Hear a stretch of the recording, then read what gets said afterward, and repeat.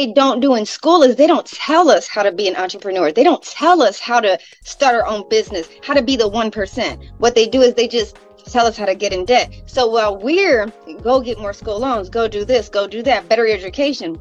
But as as parents, we're doing the exact same thing because we're not showing them the way. We're just getting them there. So then when we back away or we're gone, are they where are they going to